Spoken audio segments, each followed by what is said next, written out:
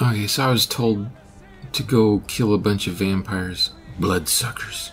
We Maids Show them no with the mercy kind of thing. For years. There's no more bitter enemy than an old friend. Do not spare them your blade. I think that's what I'm told. Yeah, Broken Fang Cave.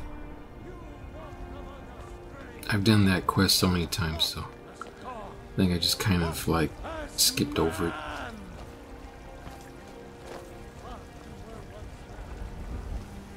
Because my hard drive was my hard drive was full at the time, so I didn't get to record a whole lot. It's so good to see you again. So I'm just kind of looky looing with people. You always brighten my. I want her to hug me. What's what's going on here? Is she like she's too busy staring at slab of meat. Hello, friend.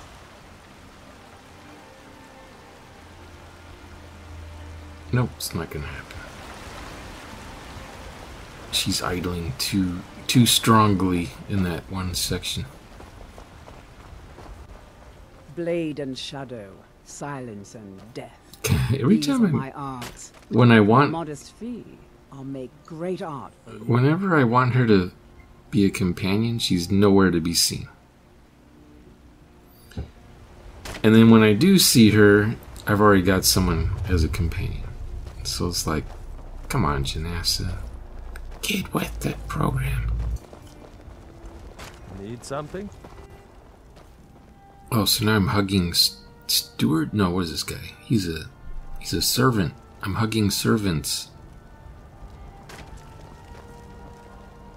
I just want to go home and read. What are you looking at?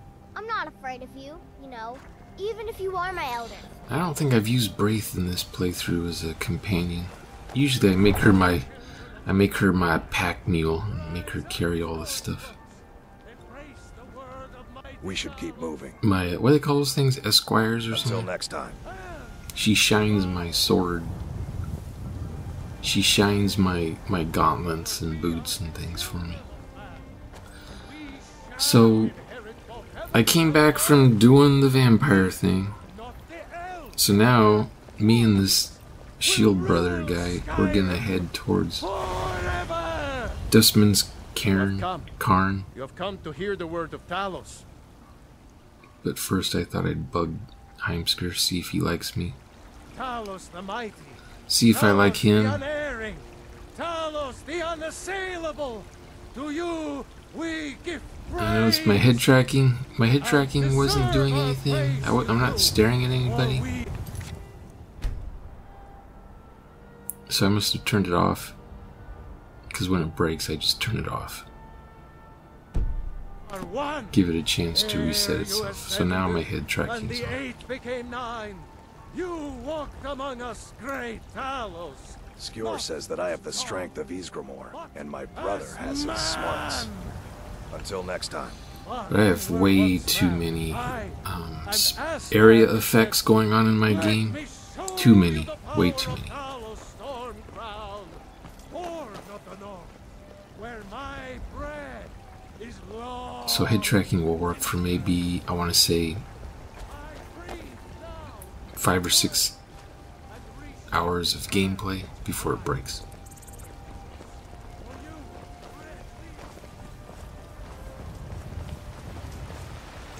It's just too much. I have too many NPCs in my game. Too many. So there's too much to stare at. the best. Oh, thank you, Divines. Bless your kind heart. And eventually I get to an area where there's like Until 14, 15 NPCs all standing around me, and my head just explodes, pops. I don't know who to. I don't know who to head track.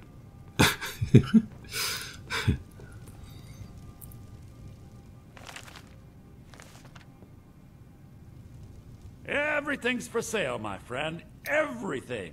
If I had a sister, I'd sell her in a second. Same with the lover's victim. Lover's Oh, a bit of victim works for a little bit bit.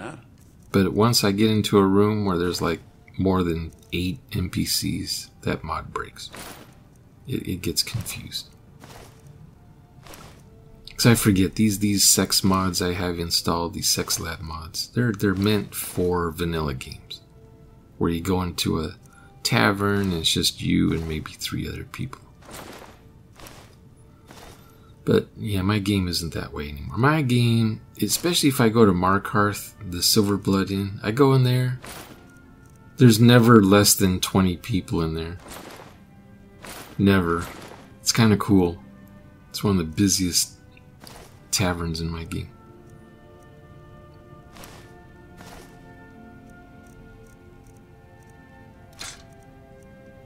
It's like it's like every hour is happy hour at the Silver Blood Inn. Other taverns, I notice right away that they're dead. I'll go in and it's just me and maybe a few people. And Vilja might comment about it, saying, I wonder if this is more busy at lunchtime or something. But the Silver Blood Inn, oh man, that place is just packed. I don't know where those NPCs are coming from. Do come back.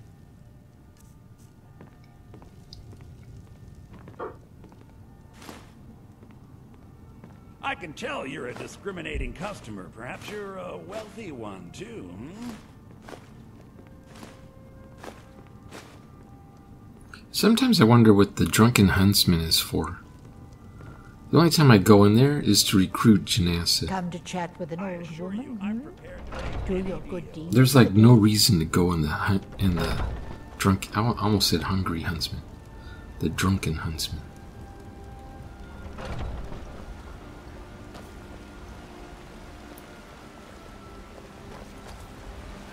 One of these days, I want to go into Spare me a few seconds.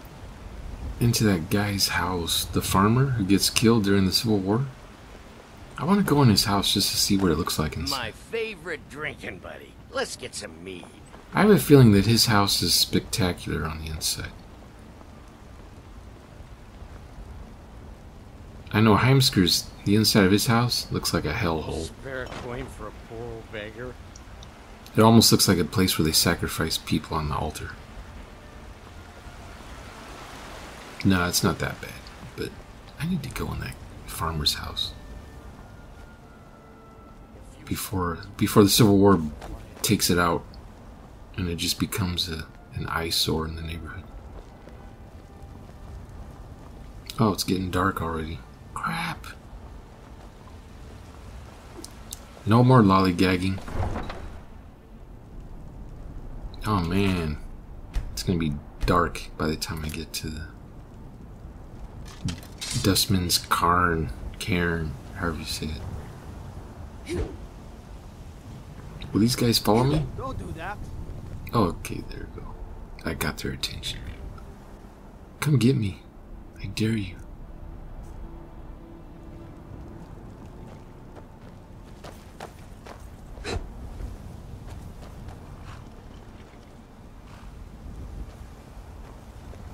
So I've been downloading new textures. I got textures now for Imperials. I probably mentioned before, but well, there's is that Lydia? She's still making her way home. I, I told her to when we were at the Fane cave where the vampires were. I said it's time for us to depart, and she's like, "I'll meet you at home." My Thane or something like that. Anyway, it took her that long to walk home. She was acting funny after the vampire attack, so I had to.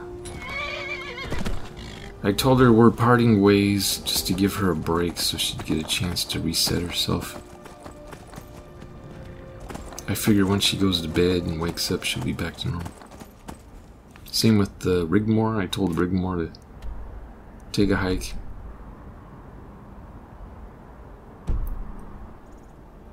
Sometimes I get carried away and I have followers come with me on a, on adventures and we never sleep. We never go poop and we never eat and we never sleep. So of course I'm slowly wearing down my companions to the point where they're just their nerves are just frazzled. They forget what weapon they're supposed to be swinging. They they have trouble running. I probably encumber them because I give them so much crap to carry, and then they they don't want to walk with me anymore, and I have to wait for them to catch up with me. And then I say, you know what? Just just go home. We're done here.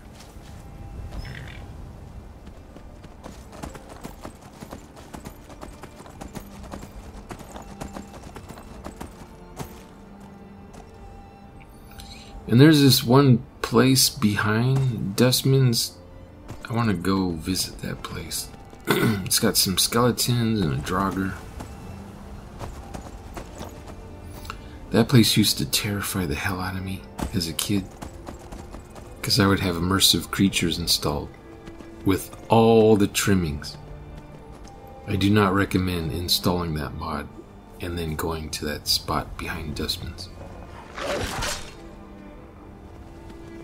It's too horrific. Even, I don't care what level you are, it's too horrific. I almost walked into a giant. What's he doing out here? Has he got like a cow or something? Okay, good. My my shield brother didn't start a fight with a with a giant. That's nice. For a change. Who's this? What's this all about?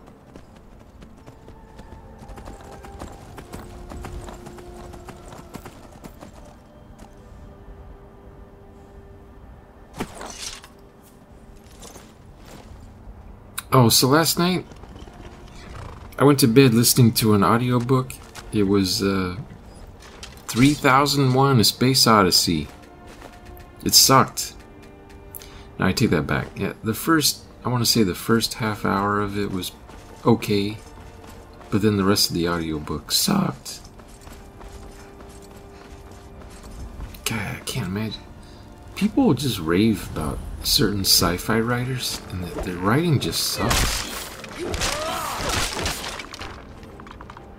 It's like a thousand years from now, right? The story takes place a thousand years from now. A thousand.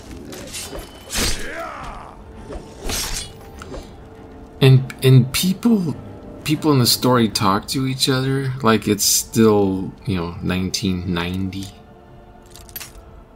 Come on, in a thousand years, no one's gonna be talking like we talk now. No one.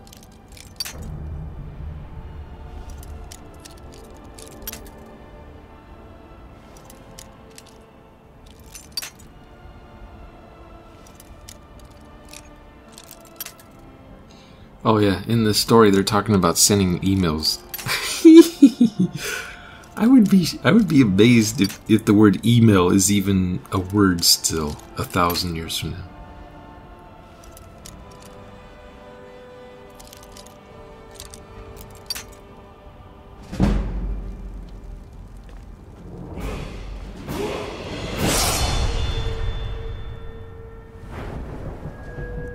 But it just kind of bugs me that Arthur C. Clarke, his technology seems to stagnate.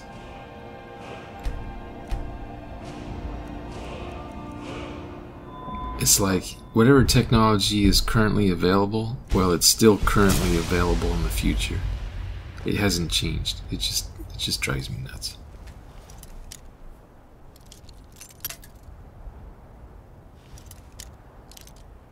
I like stupid things like um, that Logan movie. One one of the one of those last X Men films. Probably the last X Men movie, because some people aren't in the in the Marvel universe anymore after that film. They got self-driving trucks and cars and crap in that movie. And it takes the movie takes place, I want to say seven years from now.